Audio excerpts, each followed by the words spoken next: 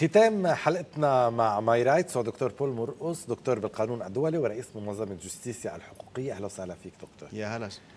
نحن قلنا ثلاث جمع منأجلك نعتذر منك بسبب النقل المباشر بس الحلقة رح تصير اليوم. معلش قول الموضوع بيطول بلبنان. إيه إيه. وكسبنا يعني شوفتك كمان. ما بينحل بسرعة. يا ريت يا ريت يا ريت يعني العكس. بدنا نحكي عن الفراغ الحكومي والفراغ آه، الرئاسي. خلينا نبلش بالواقع يلي عم نعيشه اليوم تصريف الأعمال. اليوم شو فيها الحكومة تعمل بفتره تصريف الأعمال وشو ما فيها تعمل؟ في نوعين من الأعمال الحكومية.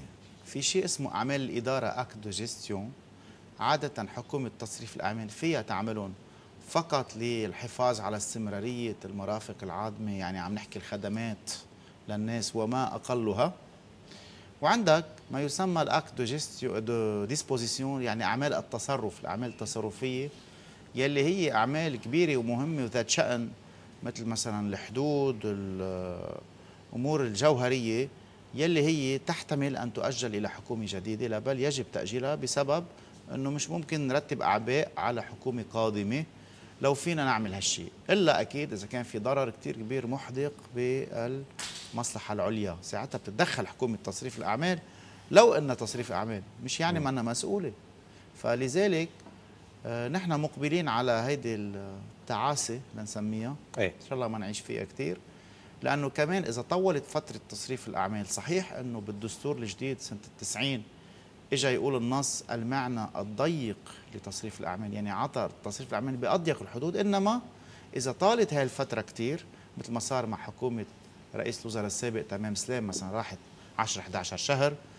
كمان إذا لا سمح الله صار في عدم انتخاب لرئيس جمهورية وطولت فترة تصريف الأعمال يتسع هذا المفهوم الضيق بسبب إنه مضطرين نكفي الحياة. مثل ما بيقولوا الرحابني بالمسرحية الأولاد بدهم يكبروا ما فيهم ينطروا تشكيل الحكومة. صح. طيب آه هون ساعتها هل نحن بحاجة ل آه تدخل من آه المجلس النيابي؟ ابدا ابدا ابدا.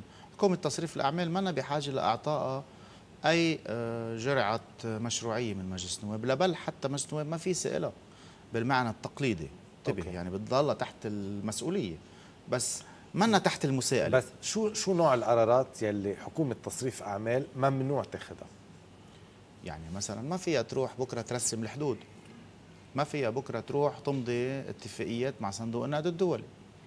هيدي من الأمور يلي لازم تترك إلى الحكومة الجديدة.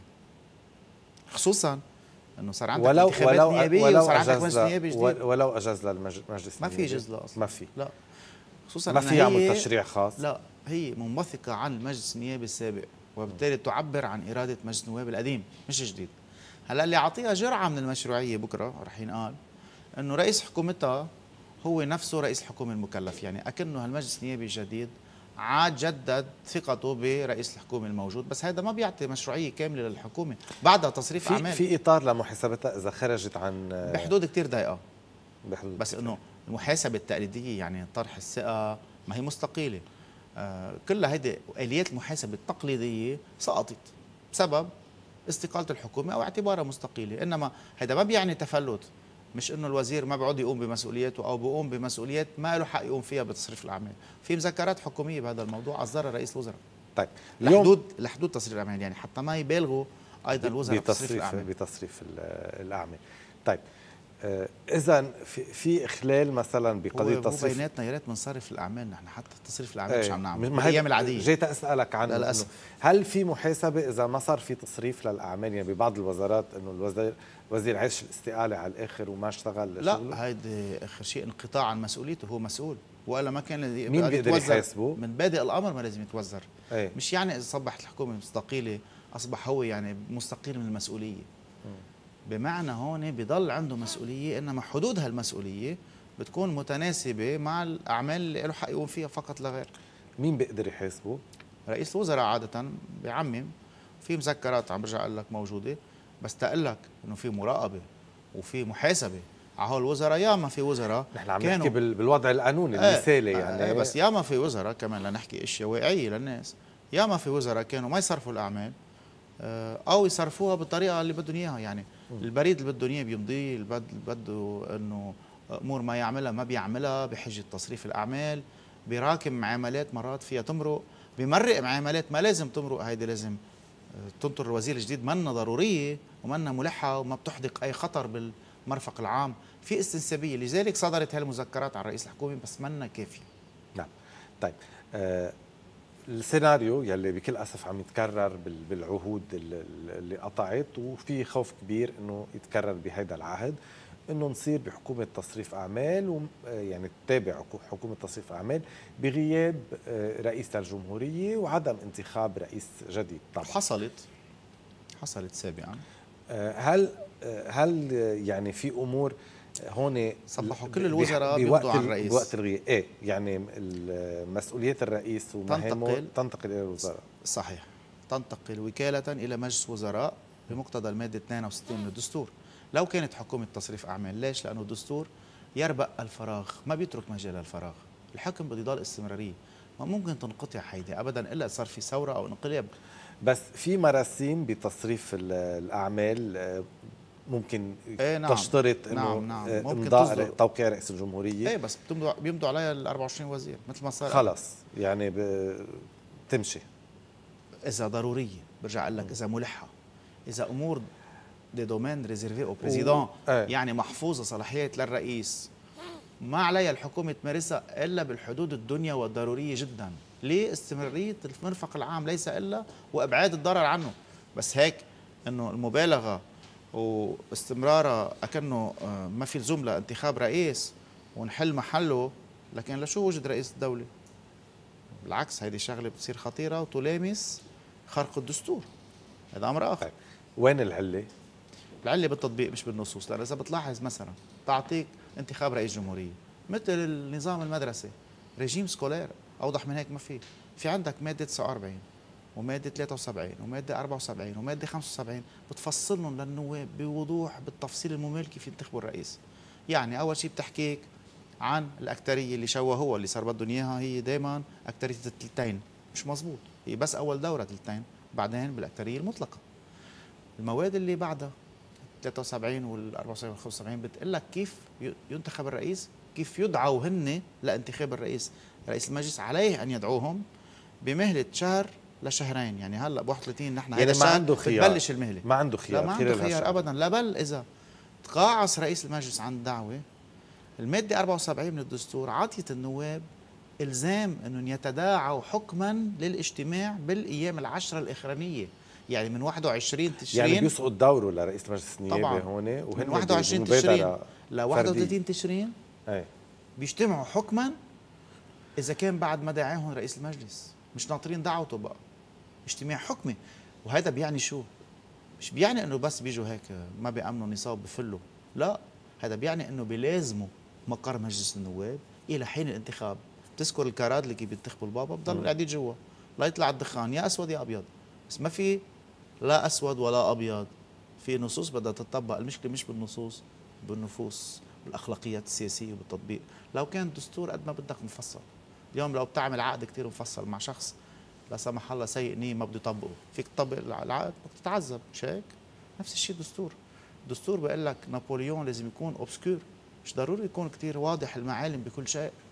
في عندك أخلاقيات في عندك دول ما عندها دستور مكتوب. تمشي على الأعراف.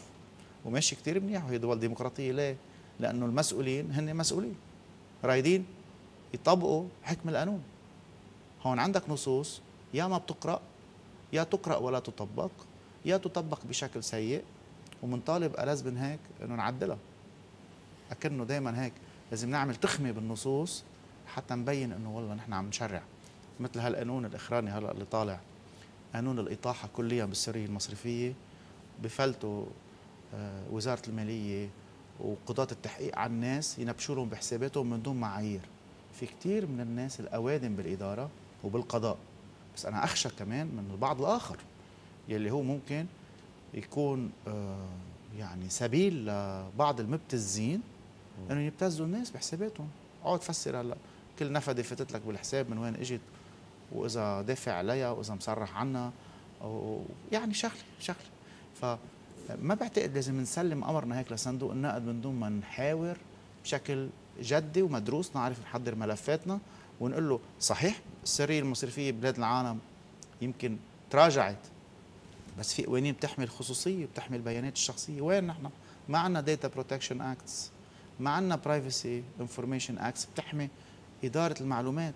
هيدي المعلومات بكرة المصرفية الخاصة الحميمة الشخصية يلي بدك تعطيها أنت لرجال الأمن ورجال الإدارة والقضاة.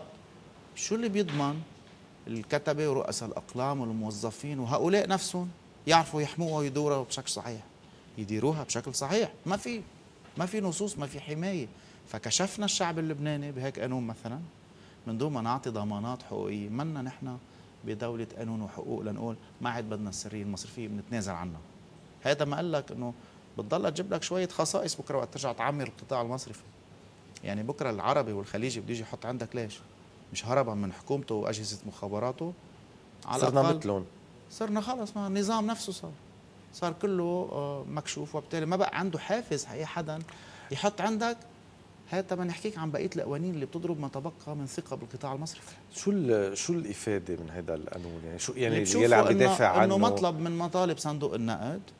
بعتقد في مصلحة ما هون التقت معه فيه لإمراره بأي ثمن حتى صندوق النقد معلوماتي بالتواصل إنه ما راضيين حتى عن الصيغه اللي طلعت وهن بصدد إرسال ملاحظات خطية عليها.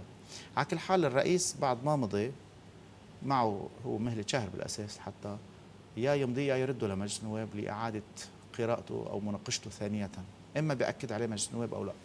بس هاي من الأمور الخطيرة يعني نحن ما انطرنا ثلاث سنين بعد الأزمة لنشوف هيك قوانين هجينه لعينه عم تصدر بحق اللبنانيين بس لأنه طالبها صندوق النقد وكيف ما كان. يعني لا رضينا اللبنانيين بمصلحتهم ولا رضيان صندوق, صندوق النقد. يعني للصراحة آه، هيك عم بعطيك مثل مأساة مأساة جنون يعني ودمار وتدمير للبلد وقتل للشعب ونحر للإقتصاد. هيدا كله صدر بحجة شو؟ إنه بده يكافحوا التهرب من الضريبة. نسيوا إنه في قانون رقمه 44 على 2015 صادر بتشرين 2015 هو نفسه في جرم التهرب من الضريبة كسبب لرفع السريه المصرفية. ذكروه بالقانون الجديد ونسيوا مضمونه أكنه منه موجود. يعني هيدا المجلس المعامله التشريع مش هيك؟ يعني بعد بعول على بعض الأفراد القليل الموجودين إن كان بالحكومة إن كان مجلس النواب لكن بدنا نكتر من أمثالهم يعني. لأنه أكيد أكيد. نادرين. بكل أسف. أنا بدي أشكرك على حضورك دكتور بول مرقوس أهلا وسهلا فيك معنا. ويعني بضل الواحد هيك يعني يقول الحقائق ويحكي قانون لأنه هيدي هيدي شغلتنا إنه نشهد للحقيقة. على عندنا شيء ثاني ما عندنا إيه. خيار آخر. يعني اللي بيقول اليوم شو عم يحكوا هو يمكن معه حق بمحل بس شو البديل؟ إذا ما عندك بوصلة الدستور والقانون عم تلحقها وعم بتخلي الناس تلحقها وترجع تحفزهم وتشد على إيدهم حتى ما عندنا غير بديل بتكون عمليا رايح لمزيد من الخراب. شكرا كثير لحضورك معنا. أهلا وسهلا فيك. شكرا. أهلا. نحن هيك بنكون وصلنا لختام حلقتنا. بكرة حلقة جديدة على 8:30 لاقونا